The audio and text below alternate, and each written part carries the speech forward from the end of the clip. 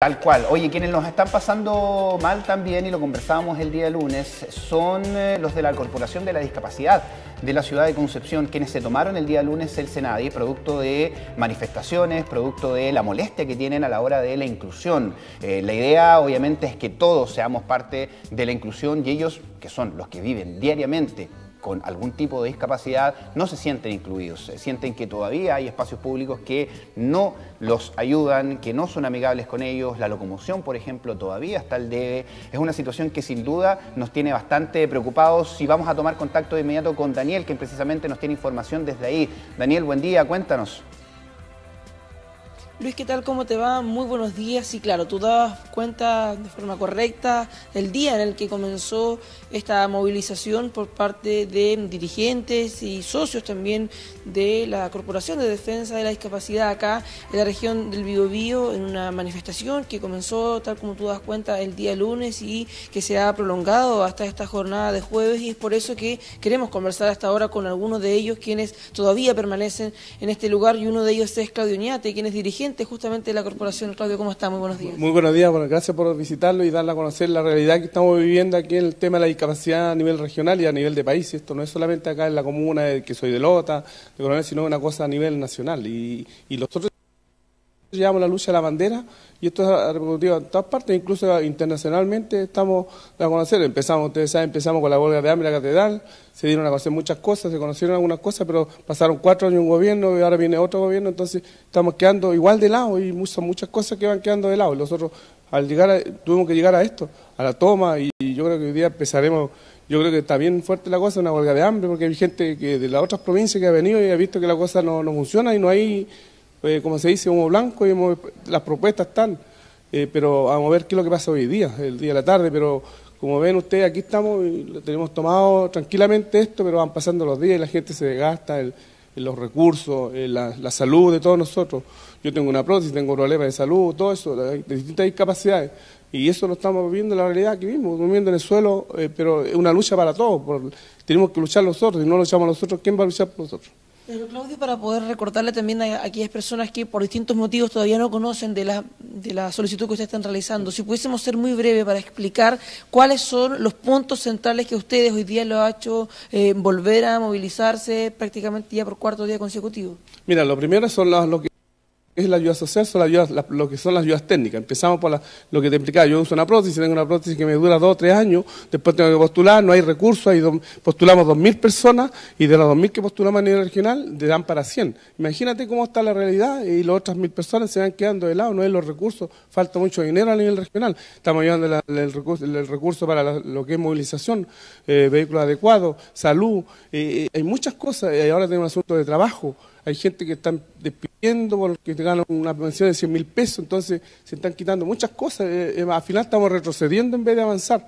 Y eso nos llevó a esto, a que sigamos luchando y los peditorios son mucho más. Eh, la realidad, como te digo, a nivel regional y nacional, y nosotros estamos quedando ahí estancados y de peor en peor.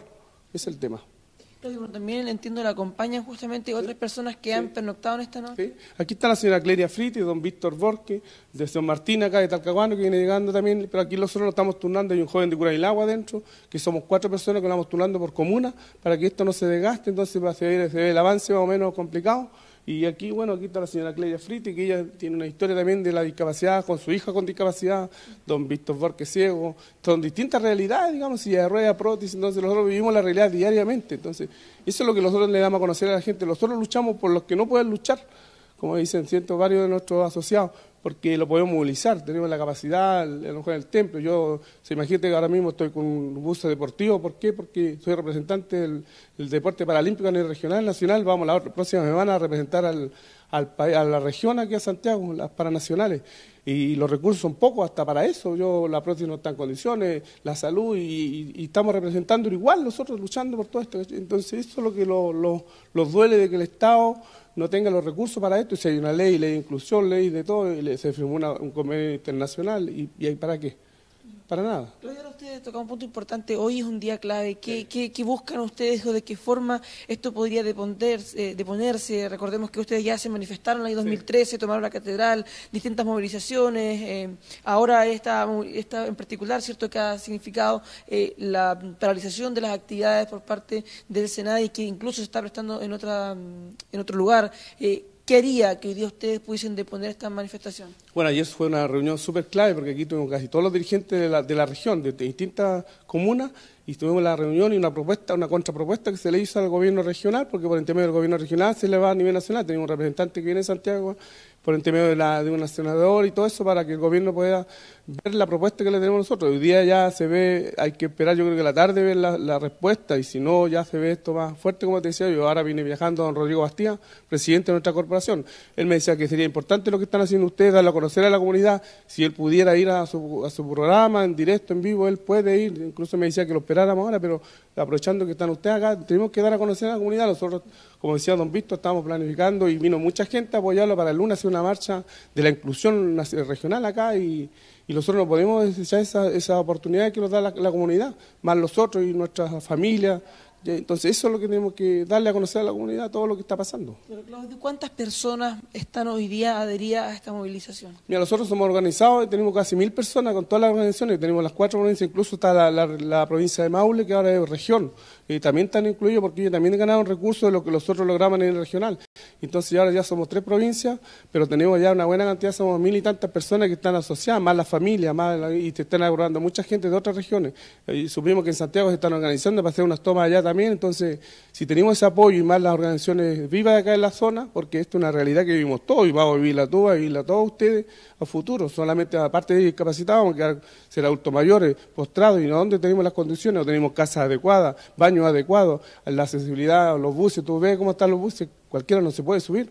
Entonces uno no puede andar así en la, sociedad si hay una ley y no, hay un respeto, no hay un respeto a los otros, si no lo, lo hacemos los otros, ¿quién?